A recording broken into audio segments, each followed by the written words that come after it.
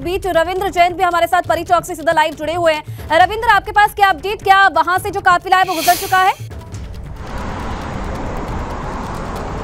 जी अभी डीएनडीए से कुछ समय पहले ही जो काफिला था वो सफ़ाई के लिए गुजरा है। हम अभी यमुना एक्सप्रेस के ज़ीरो पॉइंट पर है। यहाँ से कुछ ही देर में जो पार्थिव जो शरीर है मुलायम सिंह जी का, वो यहाँ पर पहुँचेगा। देखिए, पुलिस यहाँ पर जो है, पुलिस व्यवस्था यहाँ पर कर दी चौक चौबंद कर दी गई है। कुछ ही देर में यहाँ पर जो है जो पुल जो मुलायम सिंह जी का जो पार्थिव शरीर है, वो लाया जाएगा और उनका काफिला यहाँ से होते हुए, यमुना एक्सप्रेस से होते हुए सफ़ाई के लिए जो है रवाना होगा। कुछ ही देर में यहाँ पर जो है जो मुलायम सिंह जी का पार्थिव शरीर है, वो पहुंचेगा। देखिए, पुलिस व्यवस्था यहाँ चाक चौबंद कर दी गई है। किसी भी तरह से यहाँ पर जो है कोई जाम ना लग जाए या कोई स्थिति पैदा ना जाए, उसको लेकर जो है यहाँ पर पूरी तरीके से जो है तैयारियाँ पुलिस ने पहले ही कर ली थी।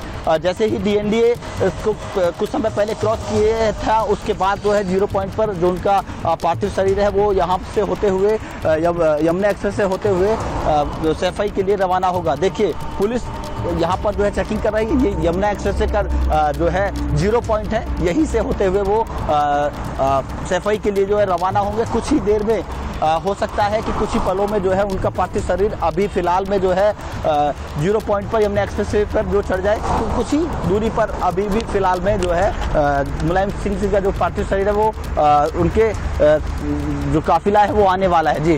ठीक है। ठीक है, रविंद्र, आप लगातार अपडेट देते रहिएगा। एक बार फिर से सनुज के पास चलते हैं। सनुज, क्योंकि देखिए परी चौक से रविंद्र अपडेट दे रहे हैं कि कुछ ही देर कुछ ही देर बाद जो काफिला है, वो वहाँ पे पहुँच जाएगा। अगर जेवर से सफ़ाई का डिस्टेंस हम देखें, क्योंकि जो स्कॉट चल रहा है साथ में, काफ़ी तेज़ी से जो ये काफिला है, बढ़ रहा है। कितना डिस्टेंस माना जाए, कितना समय लग सकता है जो ये चलिए इससे भी इस बीच प्रमोद तिवारी का क्या कुछ कहना है? कांग्रेस नेता वो भी आपको सुना देते हैं।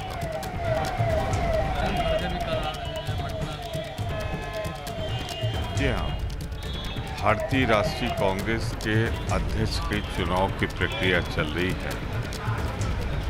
जैसा गांधी परिवार जो कहता है करता है। चलिए एक बार फिर से रविंद्र से अपडेट ले लेते हैं। रविंद्र के पास अपडेट है। रविंद्र क्या अपडेट? अपडेट? जो समाजवादी पार्टी के जो नेता है वो भी यहाँ पर पहुँचे हैं।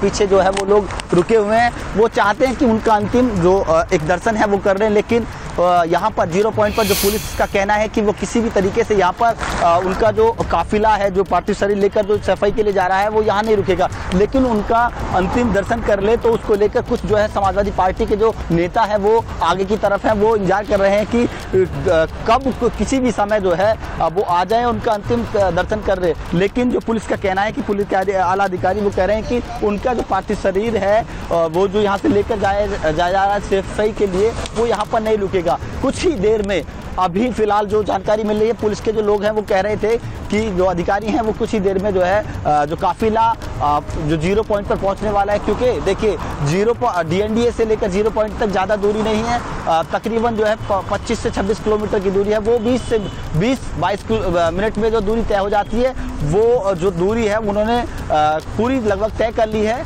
और यमुना एक्सप्रेस के जहाँ पर हम खड़े हैं ज़ीरो पॉइंट पर, कुछ ही देर में जो पार्थिव पहुंचेगा। देखिए, सुगुहाट कुछ लग रही है, कुछ सायरन भी बज रहा है, लग रहा है कि जैसे कि पार्थिव देखिए, हमारे पीछे दिखा रही एक्सक्लूसिव तस्वीरें जो मुलायम सिंह जी का पार्थिव शरीर है, वो पहुँच चुका है ज़ीरो पॉइंट पर। सबसे पहले एबीपी गंगा पर आप लोग देख रहे हैं। देखिए, मुलायम सिंह जी का पार्थिव शरीर यहाँ पर पूरे जो है, मुलायम सिंह का पार्थिव शरीर सफ़ाई के लिए ज़ीरो पॉइंट से चल दिया है। देखिए तस्वीर। इसी एंबुलेंस में जो है मुलायम सिंह जी है, अखिलेश जी भी हैं और तमाम जो अधिकारी हैं, जो मुलायम परिवार के जो तमाम अधिकारी हैं, वो लोग सभी यहाँ पर हैं। देखिए तस्वीरें में जो काफिला है, जो पार्थिव शरीर है, वो यहाँ से सीधा सफ़ाई के लिए ज़ीरो पॉइंट से चल चुका है। अभी धर्मिंदर जी भी थे और तमाम जो अधिकारी थे, वो सभी यहाँ से निकल कर आ चुके हैं। देखिए, सफ़ाई के लिए, सफ़ाई के लेकिन कुछ लोग अभी जो है, ये जानकारी दे रहे हैं कि शायद इनका जो पार्थिव शरीर है, वो कहीं रोका जाएगा। अब लेकिन ये जानकारी कितनी पुष्ट है कि जो मुलायम सिंह जी का जो पार्थिव शरीर है, वो यहाँ पर रुकेंगे, उनके दर्शन लोग करेंगे। लेकिन जो समाजवादी पार्टी के जो नेता हैं, उनका भी काफिला, काफ़ी लंबे ज़ोर से इनके साथ चल रहा है। देखिए, कुछ ही समय में जो है, यहाँ से अभी कुछ ही समय पहले जो है, ज़ीरो पॉइंट से पार्थिव शरीर सफ़ाई के लिए निकला है और फ़िलहाल जो है, जो उनका, उनके साथ फोर्स और जो नेता है, वो लोग भी जो है उनके साथ रवाना हुए हैं। जी। ठीक है।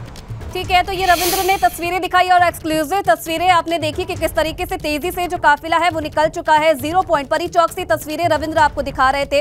और अब कुछ ही समय बाद जेवर टोल प्लाजा पर पहुंचेगा। वहाँ से अपडेट देने के लिए सनुज शर्मा इस वक्त हमारे साथ मौजूद है। आपने देखा कि कैसे तो परिवार के सदस्य तो मौके पर मौजूद हैं ही और एंबुलेंस के साथ साथ चल रहे हैं, लेकिन जो कार्यकर्ता हैं, उनकी गाड़ियाँ भी जो काफिला है उसके पीछे चल रही है। सनुज से अपडेट ले लेते हैं। सनुज ज़ीरो पॉइंट से जो काफिला है वो निकल चुका है।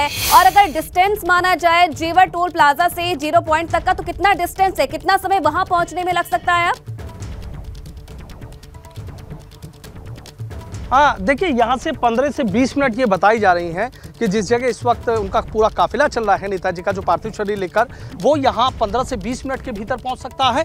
और यहाँ से अगर सैफई की हम दूरी की बात करें तो यहाँ से सैफई की दूरी करीब 240 किलोमीटर है, यानी करीब तीन घंटे का जो वक्त है, वो यहाँ से सैफई तक पहुँचने में लगेगा। पंद्रह मिनट यहाँ तक की बताई जा रही है कि पंद्रह से बीस मिनट में जो उनका काफिला है, वो यहाँ पर पहुँच सकता है। और धीरे धीरे यहाँ पर जो देखिए सरगर्मियाँ हैं, वो बढ़नी शुरू हो गई हैं, जो समाजवादी पार्टी के जो नेता हैं, वो भी यहाँ पर पहुँचने शुरू हो गए हैं, जो फोर्स का मूवमेंट है, वो यहाँ पर लगातार जो बढ़ता है, वो यहाँ पर बढ़ता हुआ जा रहा है और जो भी नेता हैं, जो यहाँ तक, यहाँ से सीधे सैफई जाना चाहते हैं, उन्होंने सीधे जेवर टोल के बाहर यहाँ जो गाड़ियाँ हैं, वो अपनी पार्क करनी शुरू कर दी हैं और उसके बाद जैसे ही पार्थिव शरीर यहाँ से गुजरेगा, ये तमाम जो गाड़ियाँ हैं, वो यहाँ से उनके साथ सीधे होते हुए सैफई तक चली जाएँगी। देखिए, नेताजी धरती पुत्र के लिए आप ये सोचिए कि लोगों की आँखों में आँसू हैं। क्योंकि कई लोग ऐसे थे कि जो फर्श पर थे और उन्हें फर्श से अर्श तक पहुँचाने का जो काम है, वो नेताजी ने किया था। और लोगों को उम्मीद नहीं थी कि कभी राजनीति के ऐसे शिखर में वो लोग पहुँच सकते हैं। कुछ किसान थे, कुछ गरीब थे, कुछ मजदूर थे,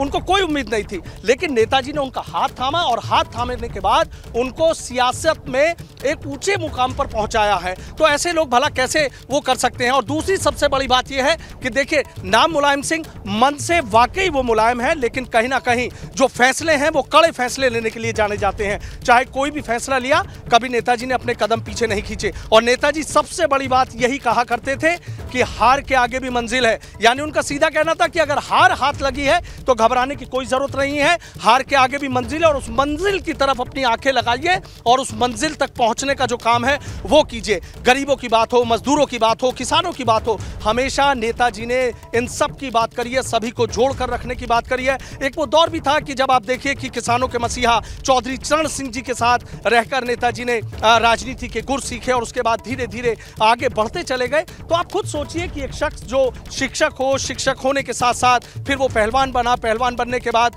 विधायक बने, विधायक बनने के बाद मंत्री बनना, मंत्री के बाद मुख्यमंत्री बनना और वो भी उत्तर प्रदेश जैसे सूबे का तीन बार मुख्यमंत्री बनना। तो आप खुद सोचिए कि उनकी सोच कैसी थी। सबको साथ लेकर चलना, सबके साथ चलना, किसी से नाराज़गी है? तो कहीं ना कहीं एक संवाद का रास्ता जो है नेताजी के लिए कहा जाता है कि सियासत में आपसी तालमेल भले ही ना हो, लेकिन कहीं ना कहीं संवाद का रास्ता हमेशा ही नेताजी ने खुला रखा और पूरी कोशिश की कि चाहे जैसे भी हो, गरीबों की बात हो, मजदूरों की बात हो, किसानों की बात हो, हमेशा वो आगे बढ़ते रहे। देखिए, समाजवादी पार्टी के जो नेता हैं एक एक करके यहाँ पर जो इकट्ठा है, वो होना शुरू हो गए हैं और ये बस देखिए पूर्व मंत्री हैं किरणपाल कश्यप जी वो आ गए हैं उनसे बात करते हैं। आ, क्या जानकारी मिली है नेताजी के काफिले के लिए कि जो पार्थिव शरीर है कहाँ तक पहुँचा है? मैं उमेश पांडे पहले तो बता दूँ आपने गलत जी उधर है वो हाँ मैं उमेश पांडे पूर्व विधायक मधुबन मऊ से आया हूँ। और आज ये जानकारी सुबह आठ बज के सोलह मिनट पर मिली कि धरती पुत्र जो किसानों के नेता गरीबों के नेता शोषित पीड़ितों के नेता आज इस दुनिया को छोड़ करके चले गए। उन्हीं के शोक संवेदना में हम लोग आज यहाँ पे इकट्ठे हैं। रास्ते में उनकी डेड बॉडी आ रही है।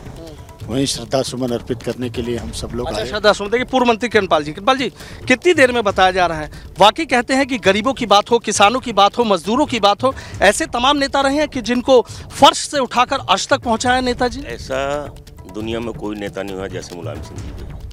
हमको देख लीजिए। आम कार्यकर्ता गाँव के रहने वाले। सबसे ज़्यादा लंबे समय तक मुजफ्फरनगर का शामली का दोनों जिलों का अध्यक्ष रहा 20 साल। और 2002 में टिकट दिया विधायक बना थाना भवन से तीन में सरकार बनी तो मंत्री बनाया। और आपको याद होगा सांसद जी हैं अट्ठानवे में जब संयुक्त मोर्चे की रैली हुई शामली में आज तक इतनी बड़ी रैली पश्चिम में हुई नहीं। जितनी बड़ी नेताजी ने की नेताजी ने कही थी उसमें Harkishan Singh Surjeet A B Vardhan Amar Singh ji VP Singh ji पूर्व प्रधानमंत्री मुलायम सिंह जी सब लोग आए थे। और घर पे एक घंटा चाय पी कर रुक कर तब गए थे। आप तो थे। आ, पूर्व सांसद हैं उनसे भी हम बात कर लेते हैं यहाँ से सर आपसे जानना चाहूँगे बताइए तमाम ये बातें बता रहे हैं कादिर साहब कि इस तरह के थे नेताजी ऐसे मिल जाया करते थे। वाकई जैसे कहते हैं कि कभी जब लोगों से बात करते थे तो कभी ऐसा ही नहीं लगता था कि इतना बड़ा नेता एक मुख्यमंत्री हम लोगों के बीच बैठा है। नहीं लगता था। ना उन्होंने लगन दिया मतलब चाहे कितना भी बड़ा वर्कर हो या चाहे जितना छोटा हो या उसको ऐसा जोड़ा जैसे अपने परिवार और अपने शरीर से जोड़ा। और सबसे बड़ी खूबी ये थी, कोई गरीब है और शादी है तो हमारे यहाँ जगजीवन रहते थे पार्टी के अंदर, आज भी हैं तो उनसे कह दिया, जाओ, इनका काम कर दो। तो पाँच लाख, चार लाख तो गरीब को मतलब छोटे से छोटे वर्कर को उठा के उन्होंने बहुत ऊपर पहुँचाने का काम किया। उन जैसा नहीं, मैं पार्लियामेंट में भी रहा तो मुझे ऐसे औलाद की तरह उन्होंने कंधे पर हाथ रखा और चढ़ते थे तब थोड़ा सा श्वास था। तो हमेशा उनकी बात नहीं भूली जाने की दुनिया में कुछ भी हो हर चीज़ को भूल सकते हैं। मैं तो उनकी बात नहीं भूल सकता। क्यों? आज मैं एक अनपढ़ आदमी कह लो या एक देहात का आदमी कह लो मुझे पुछाने वाले वही शख्स हैं। मुझे कुल ग्यारह सौ रुपये में रसीद कटवाई थी उन्होंने तिरानवे में और पहला सिंबल मुझको दिया था बहत्तर हज़ार वोट मिला था मुझे। मैं हार गया था। यहाँ से हाजी अखलाक याकूब लड़े थे और वहाँ से मैं लड़ा था। तो वे जीत गए थे मैं हार गया था। तो मैं तो उनका कायल हूँ हर समय कहीं भी रहा पर वे मेरे दिल में बसे रहे। देखिए मेरे दिल में बस रहे। आप सुनिए ग्यारह सौ रुपए की रसीद ग्यारह सौ रुपए कितने होते हैं? लेकिन ग्यारह सौ रुपए की रसीद कटाए उसके बाद ये पूर्व सांसद हैं। मुजफ्फरनगर के बड़े नेताओं में शुमार है कादी राणा साहब हैं और भी आपने तमाम जो पूर्व मंत्री हैं, कश्यप साहब तमाम लोगों की बात बीच सुनी